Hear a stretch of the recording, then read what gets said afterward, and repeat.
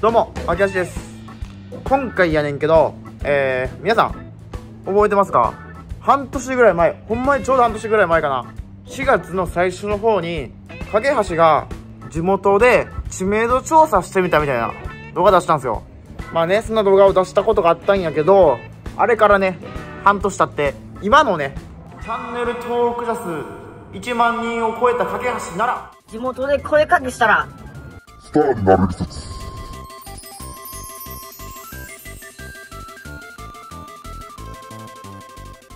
やっていこうと思います。まあ、前回とルールは同じですね。あの、自分から声かけに行って、僕のこと知ってますかって聞くんですよ。で、あの、仮にその、僕のこと知ってますかって聞いて、知ってるって言われても、知ってるだけじゃあかんのよ。ちゃんとね、名前わかりますかって聞くんですよ、僕が。で、あ、架橋さんですよねってなったら、合格なんで、そんな感じでね、やっていこうと思います。まあ、あの、知ってるって言われてもさ、冷やかしかもしれんやんか。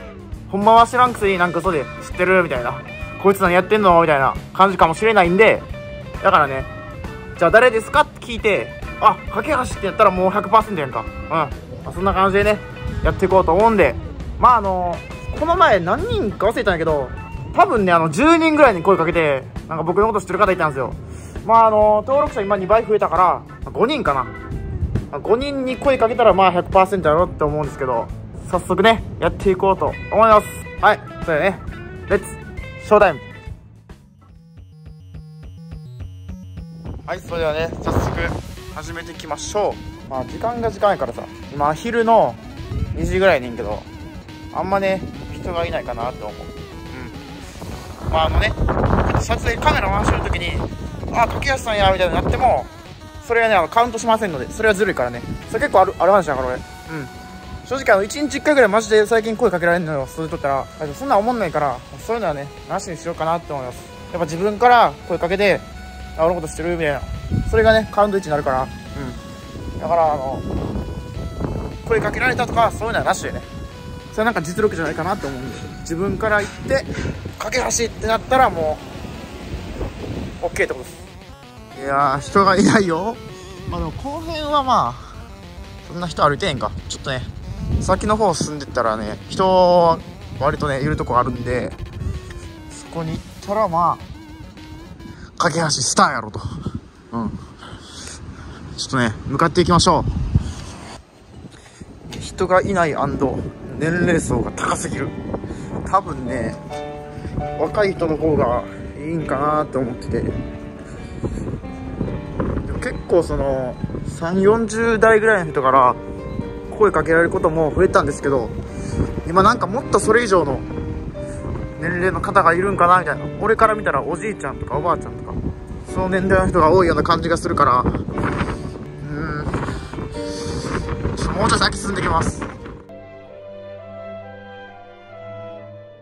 いや、ちょっと待って。今からさ、映してくんやけど、これはね、想定外なことが起きた。見てよ。全然おらんやんか。ここマジであの、ボーナスステージだと思ったのに、俺。こう人いっぱいおると思ったからさ。マジであの、メタキンオンリーみたいな感じだと思ってて、ちょっと想定外でしたね。いやー、マジか。どうしよう。じゃあ、まずあの、一人目にちょっと声かけていこうと思います。結構これ緊張すんねんな。僕あの、YouTuber やってまして、僕のことご存知でしょうか？全く知らないですか？ごめんなさい。ごめん。見たことない。見たことないですか？わかりました今なんか知名度調査みたいなのやってて。全く。もう本当に。もうアプリとかも入れてない感じですか？子供が勝手に入れてるけど、ああなるほど。え使い方全然分かってないです。すいません。ー、わかりました。もしかしたら子供知ってるかもしれないんで架け橋って名前やってるんですよ。うだからもし一回子供とかにまた帰ってから架け橋って人に声かけられたよって言ったらもしかしたらそうなの？知ってるかもしれないんで分かってます。聞いてみますね。すいませんありがとうございますごめんなさい急に声かけてしまってはい。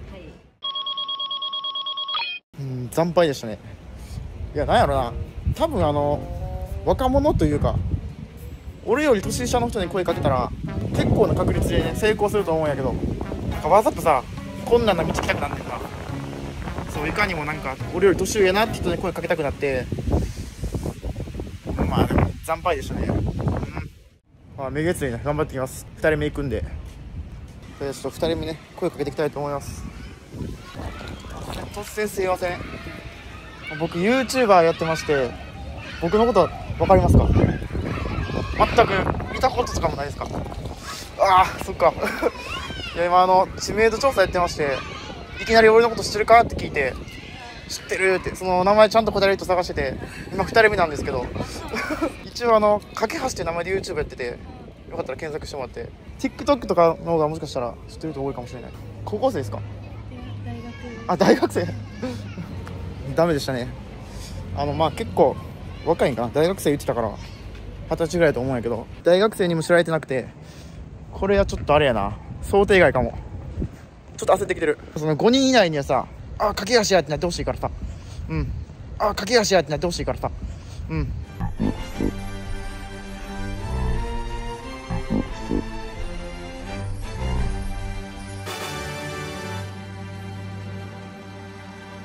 今なんかガーッ飛んだな。えー、そう。もっとね気合い入れて自信持っていこうと思います。にしてもまずほんまに人が少ないなやっぱ。やしなんか声かける時ってさやっぱかけづらいよね。イヤホンつけてる人とかなんか作業してる人とかさ声かけるのなんか申し訳ないなと思うからまあこの人ならなんか今手空いてる人も結構声かけてるようにするから。じゃあ次あの3人目声かけていこうと思います。しゃ頼むぞマジで。頼むぞ。すいません。ちょっと突然いいですか、私あの YouTuber をやってましてはい。僕のことを知ってるかお伺いしたくて。全く分かんないんかはい、すいません。あ、ああマジか伊丹市住んでられます？そうなんです。ああショックあし分かりました、僕あの架け橋って名前で YouTuber やってましてはい。今なんかあの知名度調査みたいなのやってて、突然声かけて僕の名前言える人探してあ今3人目なんですよあ。あ、ほんまですか？申し訳ない。すみま一回よかったら喋ってもらってもせん。はい。結構伊丹市で活動してたりとかなんか伊丹市あるあるっていう動画とか出したこともあってあ、そうなんですね。な名前なんていうんですか？伊丹で伊丹179で調べてもらっていいですか？179は数字で伊丹漢字で。痛みの百七十九。です。はい、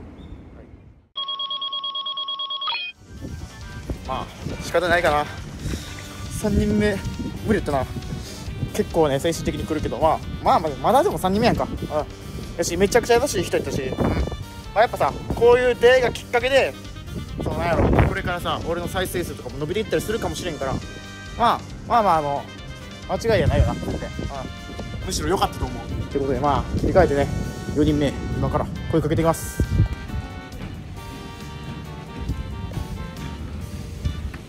あ突然すいません。ちょっとちょっといいですか、私あの YouTuber をやってるんですけども僕のことご存知ですか？あ知らないです。ああ YouTube とか全く見ないですか？見ないですね。ああそうですか。僕あの伊丹市ではい。YouTube 活動してまして今あの誰かに声かけてはい僕のことしますかって声かけて僕の名前言える人探してるんですよ。あ今4人目なんですよ。やばくね？絶不調やねんけど前髪も不調やし。やばい。やばい。あと一人で成功させたい、まあ、やっぱさそのさっき声かけた人は結構お母さん世代やと思う多分。だからまあ仕方ないんやけどでもやっぱさ困難に行きたくなるやんか。年上の方が嬉しいって気持ちあるねんやんかだってさ年上の人に知られてるってよっぽど有名やと思うねまあ気持ち切り替えてねちょっと5人目今から声かけていこうと思います。はあ。なんかこの感じあのめっちゃ昔にグループで YouTube やってる時にチャンネル登録お願いしますって言って声かけした時のことを思い出す。やっぱあの初心忘れたらあかんなって思うマジで初心はね大事ですね。いやなかなか5人目がね見つからん。やでもマジであの普段ね声かけられる時ってあこんな人が俺のこと知ってんねやみたいな。そんな人がめちゃくちゃ多くてちょっと正直わかんないんですけどまあしっかりねこの心眼でね見極めてやっていこうと思います。俺のこと知ってる？知ってる俺のこと。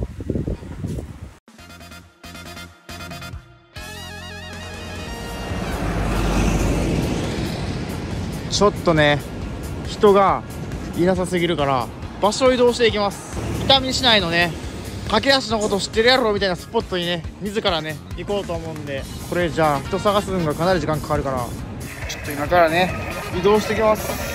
公園に行こうと思います。どっかその辺のね、まあ、公園やったら俺のこと知ってる人いっぱいあると思うからうん。まあ言い訳かもしれんけどマジであの時間帯がね悪いと思う。まあ、あの学生とかもうるせてへんしあとなんか平日やからさやっぱ仕事行ってる人とかも多いと思うからいやでもなこれがな俺がヒカキンさんとか言ったらまた話しちゃうんやろな。どっちにしろねまだまだやな、うんあそこにね公園があるんで今からちょっと行ってみようと思います。あんま人がおらん気がすんねんけど。大丈夫かな？えー、あの公園来ました。ですがね人は道の通り全然いないです。やばいぞ。なんならまだ4人しか声かけてへんし。どうしようどうしようマジで。どうしよう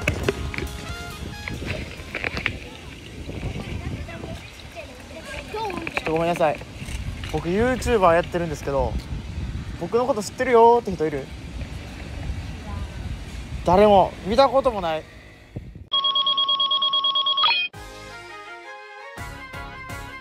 もう精神的にやばいからね。おでん買いましたよ。ちょっと。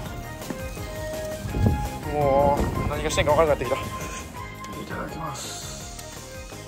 おでんちゃん買いました？はんぺん食べようはんぺん。うまっ。